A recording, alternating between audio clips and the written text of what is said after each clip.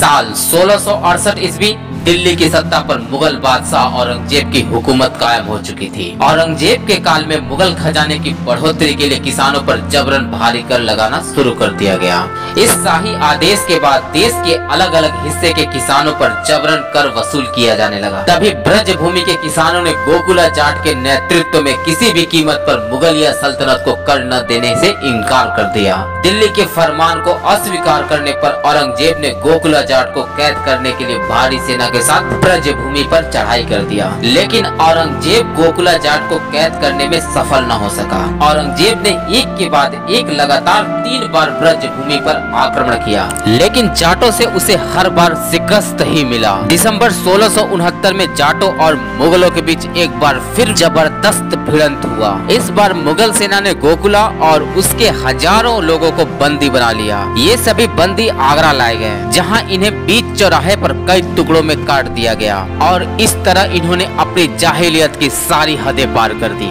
इस घटना के बाद तो मानो संपूर्ण ब्रज भूमि पर किसानों का सैलाब उमड़ पड़ा। यहीं पर गोकुला जाट के पुत्र राजा राम सिंह सिनवार को नया सरदार चुना गया। राजा राम सिंह सिनवार ने एक सेना का निर्माण किया और 1681 में आगरा के निकट सिकंदरा पर आक्रमण करके अकबर के मकबरे का विनाश कर अपने पिता गोकुला जाट के हत्या का बदला लिया। इस हमले में जाटों ने मुगलों के भारी खजाने को अपने कब्जे में ले लिया। जो खजाना मुगलों ने हिंदू मंदिरों को ध्वस्त करके लुटा हुआ था। इसके बाद धीरे धीरे जाटों का रुतबा बढ़ने लगा। उनके नामों की पहचान होने लगी। बदलते दौर में राजा राम सिंह सिनेवार के पुत्र बदन सिंह आगरा के मुगलिया थाने पर आक्रमण करके ब्रज के एक बड़े इलाके पर अपना दबदबा कायम कर लिया। तभी जन्म हुआ हिंदुस्तान के नयाब सितारे का, जिसने अपने शौर्य के ताप से भरतपुर में एक नए साम्राज्य का निर्माण किया और जिनका नाम था सूरजमल। सूरजमल बचपन से ही बड़े वीर, बुद्धिमान और गुस्सैले स्वभाव के थे। छोटी सी उम्र में ही सूरजमल ने मेवात के मेवों पर आक्रमण करके मेवात पर अपना कब्जा कर लिया।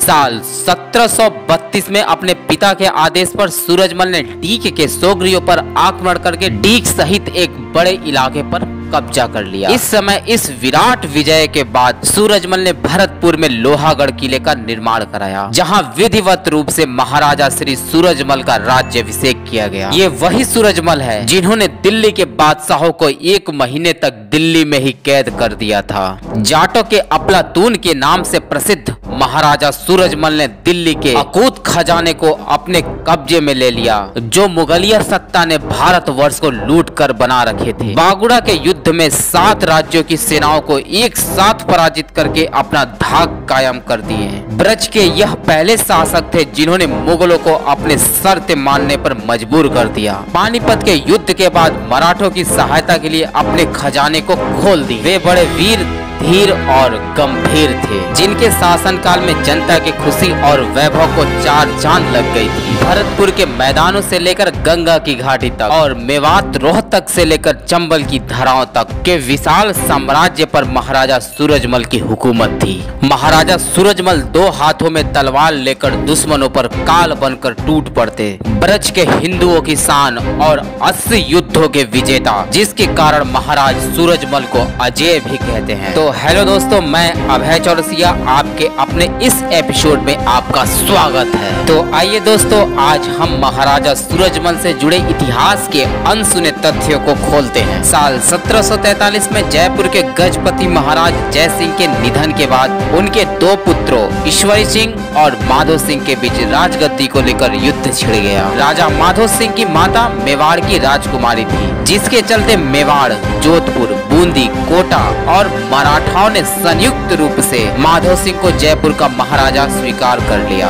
जबकि भरतपुर के महाराजा सूरजमल ने अपने जिगरी मित्र जय सिंह को दिए वचन के लिए और राजपूत परंपरा के अनुसार बड़े पुत्र ईश्वरी सिंह को गद्दी पर बैठाने का निश्चय किया। इसी के परिणाम स्वरूप साल 1743 को बागुड़ा के मैदानों में, युद्ध के इस मैदान में सूरजमल ने अपना शौर्य दिखाया। वीर की बेहतरीन युद्ध नीति और खौलते रक्त ने युद्ध का पासा अपने पक्ष में मोड़ लिया। महाराजा सूरजमल के दो हाथों में तलवार लड़ते देख राजपूत योद्धाओं ने इस वीर का परिचय पूछा। तभी इस युद्ध के मैदान में मदमस्त दहाड़ सुनाई दी। नहीं सही जाटनी ने व्यर्थ प्रसव की पीर। जब जन्मा उसके गर्भ से सूरजमल सा वीर। इस युद्ध के विजय श्री के बाद तो संपूर्ण उत्तर भारत में महाराजा सूरजमल के नाम का डंका बजने लगा। महाराजा ईश्वरी सिंह को जयपुर की राजगद्दी पर राज तिलक करवाकर महाराजा सूरजमल भरतपुर की ओर निकले, जहाँ संपूर्ण ब्रज भूमि पर महाराजा सूरजमल की जयकारे से गूंज उठा। लोगों को ब्रज के इस चमकते सितारे में अपना योद्धा नज़र आने लगा। इस भव्य जीत के बाद महाराजा सूरजमल ने अपने राज्य विस्तार के लिए अपनी सेना को संगठित करते हुए भयानक युद्धों का शंखनाद किया। उन्होंने ब्रज भूमि से मुगलों का नामो निशान मिटाने का निर्णय लिया। जल्द ही महाराजा सूरजमल ने रेवाड़ी, निमरान, मथुरा, मेवात और गुरुग्राम के किलों को फतेह करके अपने राज्य की सीमाओं को दिल्ली के दरवाजे तक मज़बूत कर दिया। इस समय दिल्ली के गद्दी पर नल्लो के सरताज अहमद शाह बहादुर की हुकूमत थी। अहमद शाह बहादुर ने महाराजा सूरजमल की बढ़ती ताकत को जवाब देते हुए अपने वज़ीर मीर बख्शी के नेतृत्व में एक विशाल फौज को सूरजमल को काबू में करने को भेजता है। 30 दिसंबर साल सत्रह मीर बख्शी अपनी विशाल मुगलिया सेना के साथ जाटों के इलाकों में घुस जाता है। मीर बख्श मेवात को लूटकर आगे बढ़ा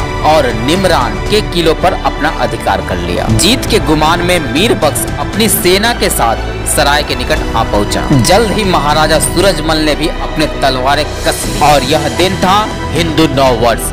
महाराजा सूरजमल ने माँ जगदम्बा की पूजा करके अपने सेनापतियों को युद्ध का मोर्चा संभालने के लिए भेजा। महाराजा के सरदारों ने आगे बढ़ रही मुगलिया सेना के दो सेनापतियों को मार गिराया। तभी महाराजा सूरजमल भी अपनी सेना के साथ युद्ध के मैदान में आ उतरे। देखते ही देखते मीर बख्श की विशाल फौज को चारों तरफ़ से घेर लिया गया। मीर बख्श की संपूर्ण सेना अब महाराजा सूरजमल के वश में थी। तीन दिनों तक महाराजा सूरजमल ने मीर बख्श को घेरे रखा। और अंत में विवश होकर मीर बख्श अपने घुटने टेक दिए और जाटों के इलाकों को खाली करने के साथ संपूर्ण क्षति की भरपाई का वचन भी दिया। सूरजमल की मुगल पर प्रचंड जीत की ये खबर संपूर्ण राजपुताने में फैल गई। सर्वत्र सूरजमल के नाम का रौब बढ़ने लगा। क्योंकि महाराजा सूरजमल ने आज दिल्ली के बादशाह के रौब को माटी में मिला दिया था। महाराजा की बढ़ती ताकत ने संपूर्ण सेना में जोश भर दिया। इसी समय दिल्ली का बादशाह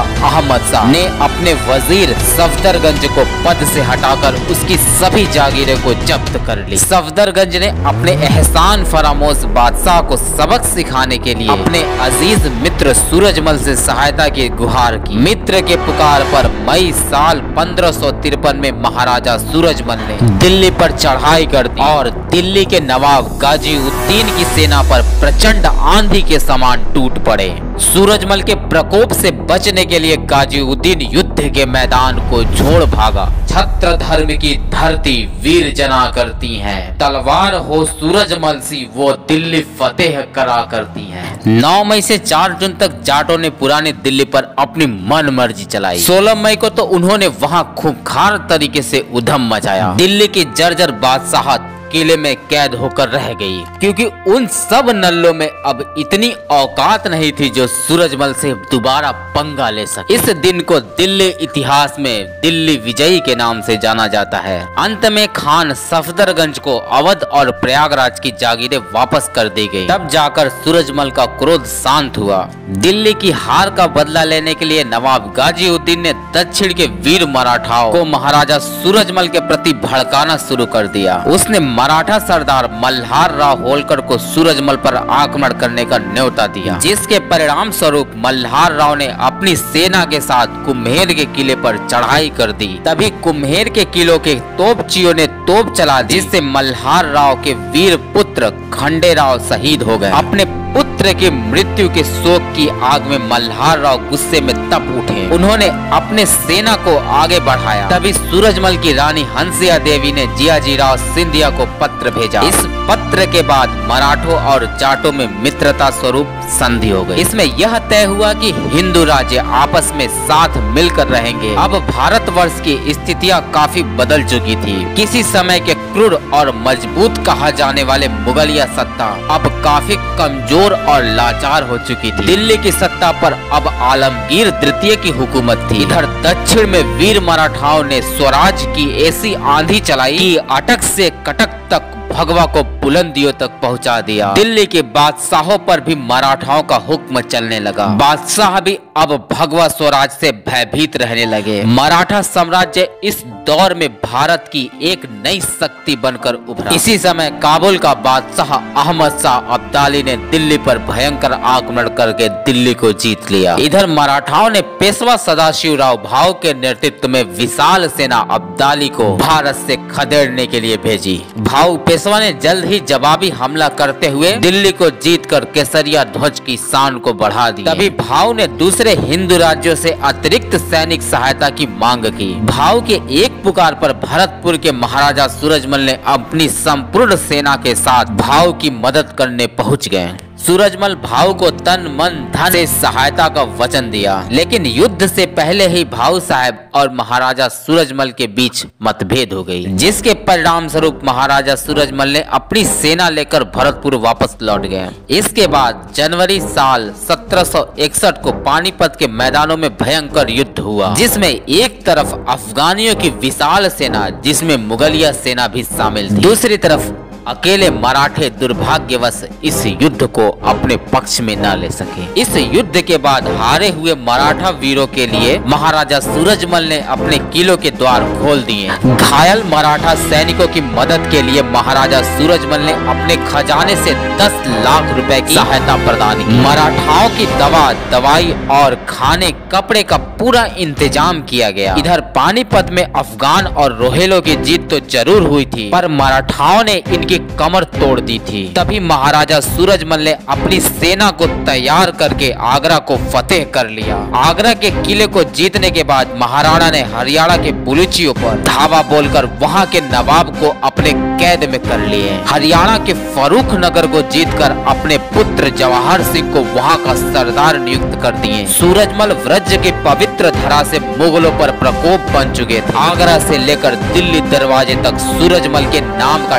डंका बजने लगा। दिल्ली के रोहेला सरदार नजीब उद्दौला ने सूरजमल के राज्यों की सीमाओं को मानने से इनकार कर दिया, जिसके बाद एक बार फिर महाराजा सूरजमल ने दिल्ली पर कूच कर दिया। नजीब उद्दौला को अहमद शाह अब्दाली का पूरा समर्थन था। सूरजमल के दिल्ली पर कूच की खबर सुनकर उसने एक बार फिर अब्दाली से मदद मांगी। नजीब उद्दौला ने अपनी सेना को तैयार करके दिल्ली के चारों ओर फाटक को बंद करवा दिया। इधर महाराजा सूरजमल के एक आदेश पर दसियों गाँव के जाट एक होकर महाराजा की सेना में शामिल होकर दिल्ली को घेर लिया। जाटों की सेना दिल्ली के निकट यमुना और तुआब के मैदानों में थी और शाही सेना दिल्ली नगर की चार दीवारी के अंदर। उसी समय महाराजा सूरजमल केवल तीस घुड़सवारों के साथ शहर का द्वार तोड़कर विशाल शत्रु सेना के बीच जा पहुँचे, जहाँ लड़ते हुए महाराजा ने वीर गति को प्राप्त किया। छप्पन वर्ष की उम्र में हिंद धरा का वह वीर सपूत दुनिया से विदा हो गया। हिल गया गगन झुक गया जहाँ सारा। लड़ता रहा स्वाभिमान के लिए। कभी न झुका सूरज हमारा। दोस्तों अगर आपको हमारी वीडियो अच्छी लगी हो तो लाइक शेयर और कमेंट करना न भूलें। और भविष्य में ऐसे ही रोचक जानकारियों के लिए आप हमारे चैनल को सब्सक्राइब करें। आने वाले हर वीडियो की नोटिफिकेशन आपको सबसे पहले मिलती रहे। तो मिलते हैं कल एक नए मानुष इतिहास के साथ। कुछ रोचक बातें।